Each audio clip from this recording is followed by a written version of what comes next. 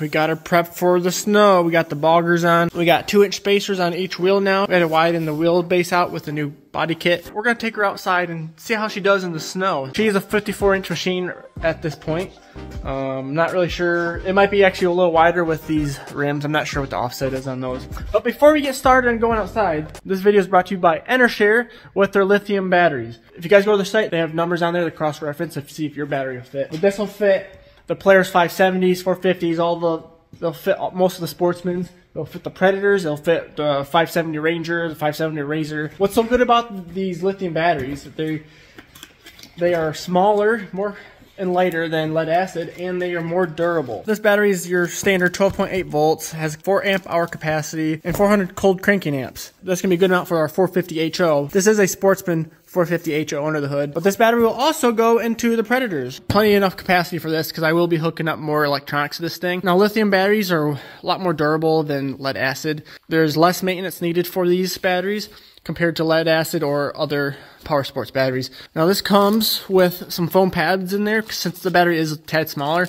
There is foam pads uh, to help alleviate the extra space you might have in your battery box. It comes with a screwdriver as well. Let's get this installed in our Sportsman 450 powered Ford Raptor. Now I'm gonna do a cold start on this real quick and see if there's a difference.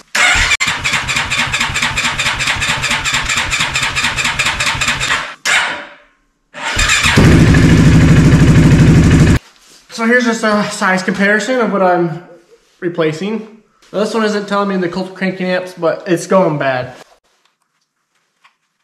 All right, so now let's do a cold start with the new battery. Key on. Yeah,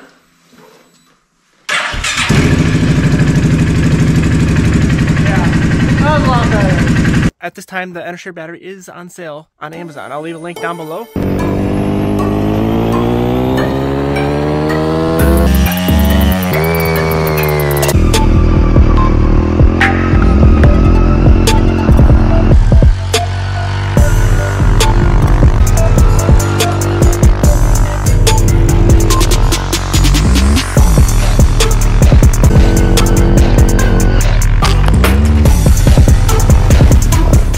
Raptor is doing excellent out here.